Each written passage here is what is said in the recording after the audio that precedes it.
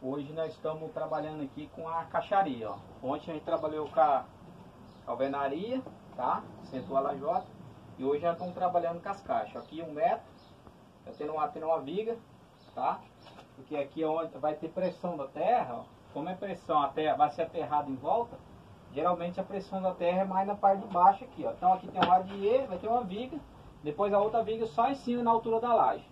Aí a gente já está travando as caixas aqui, ó já estamos travando as caixas e já estamos deixando o espaço da, da, da outra. Estamos travando tudo junto. Vamos mexer aqui e aqui. Então, aqui ó, a gente já cortou a tabinha que vai aqui dentro, ó.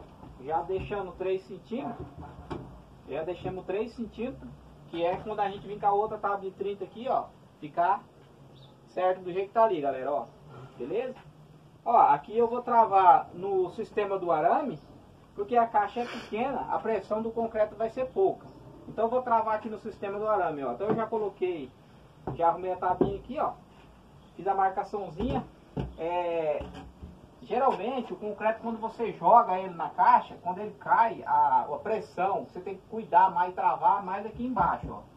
Aqui, quando começa daqui para cima, já não tem tanto perigo da caixa abrir. Mas a parte de baixo, o concreto ele cai, ele dá um impacto, então ele vai querer abrir o pé. Então a gente vai vai tá furando, né, aqui ó, você já deixa uns 10 centímetros e já, então aqui eu vou deixar as duas pontas igual, né, deixar as duas pontas igual aqui ó, porque a hora que eu vim com essas duas tábuas aqui ó, essas duas aqui ó, ela vai encabeçar igual encabeçou aqui ó, certinho, então agora é só furar ó, já, já peguei aqui a, a medida aqui da ferragem ó, a minha ferragem dá 20 então vai deixar 22, um centímetro para cada lado aqui. Furar, ó. Vou trabalhar aqui no sistema do, do arame na caixa, porque aqui é uma caixa pequena, então não vai ter muito impacto, não tem muita pressão. Fazer, vou, eu vou furar um, aí depois a gente vai dar uma pausadinha no vídeo e depois para não ficar muito longo o vídeo de chato, beleza? Ó, muito simples, ó. Vou usar uma broca aqui de um quarto, tá? Vou fazer dois furinhos em cada lado. Já deixei 22 ali.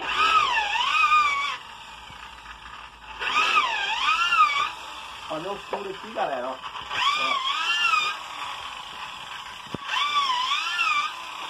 Vamos dar uma pausadinha no vídeo, já nós volta. Pausa aí, Marcelo.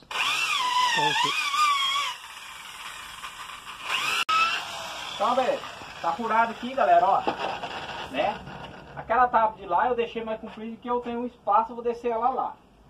Então agora aqui, ó, essa aqui é a tábua de dentro, né?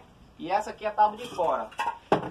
Então, eu já cortei uns araminhos aqui, ó, já mais ou menos aqui, ó, para não perder o espaço da... para não perder muito arame.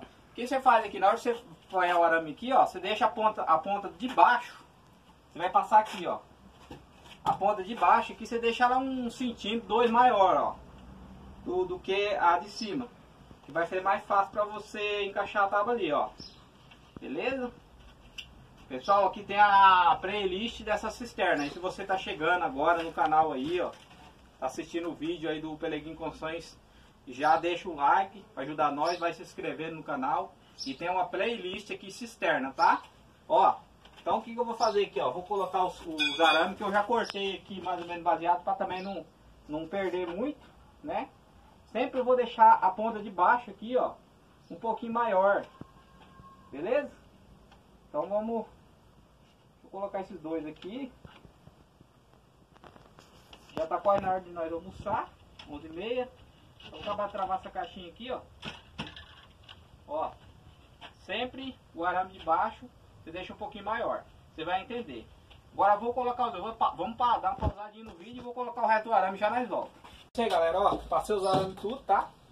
Que nem eu falei, o de baixo sempre eu deixo um pouquinho maior, ó. Ó, esse sistema aqui é coluna que não seja muito larga, né? Se for coluna muito largona, aí você tem que trabalhar com outro sistema de travamento. Mas eu tenho aí outros vídeos travando caixaria, tá?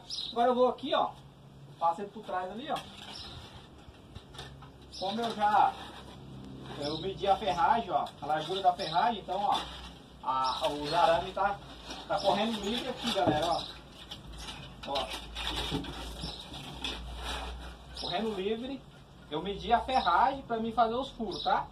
Ó, chega aqui, Marcelo, vem aqui. Por que que eu falo, mostra aqui. Por que que eu falo para você deixar sempre o de baixo, o arame de baixo maior, ó. daí você vai passar ele aqui, tá vendo, ó? Ó, você vai passar o de baixo primeiro, ó. Tá? Daí, ó, você vai puxando a tábua aqui, ó. Ó. Sempre o de baixo vai encostar primeiro, ó. Tá vendo? Deixa eu dar uma puxadinha aqui mais. Esse sistema aqui, ele, ele é um pouquinho mais, mais enjoado de se travar. Mas é eficaz também.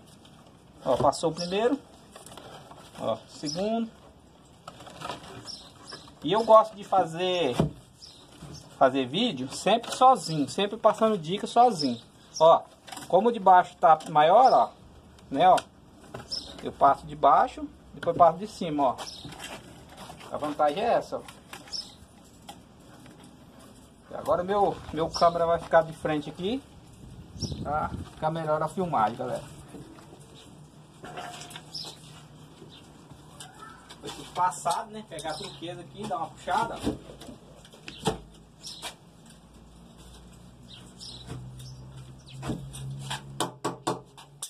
Ajeitadinha de vídeo aqui certinho. Ó.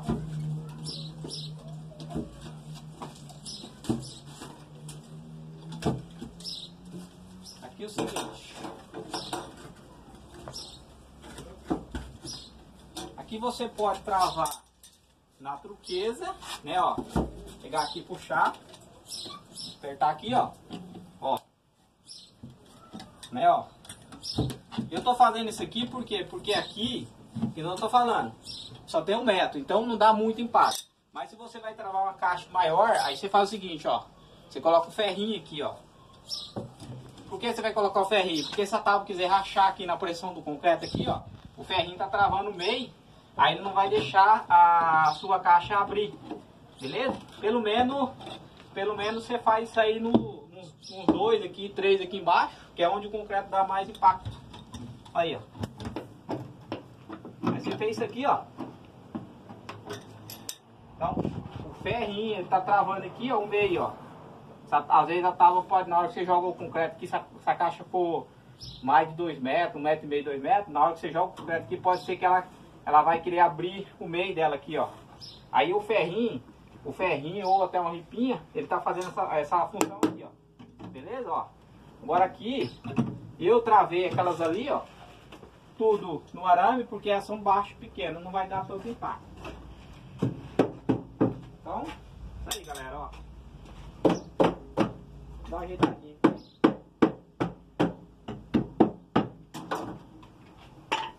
Se você quiser travar também a orelha, a orelha do martelo também, você pode travar aqui, ó. Pode chegar aqui, ó. Colocar só o martelo aqui, ó. Tá vendo, ó? Aí você vem aqui com o martelo, ó. Ó, trava também, ó. Agora, depois que você acabou de travar sua caixa aí, acabou, apertou, pega essas pontas de arame aqui, ó. Vira tudinho pra baixo. Porque na hora que você estiver concretando aqui, ó, você pode bater o braço aqui e já te arranhar a tua, teu braço aí já vai começar a sangrar. Beleza? Aí, galera, ó. Então tá aí, se você vai travar a caixa pequena aí, ó, você pode travar nesse sistema. Furou, coloca as duas tábuas junto, fura. Fora a minha aqui, amarrou aqui. Agora você vai travar a caixa maior, que vai ter impacto, usa o ferrinho. Aqui e aqui, os dois lados, beleza?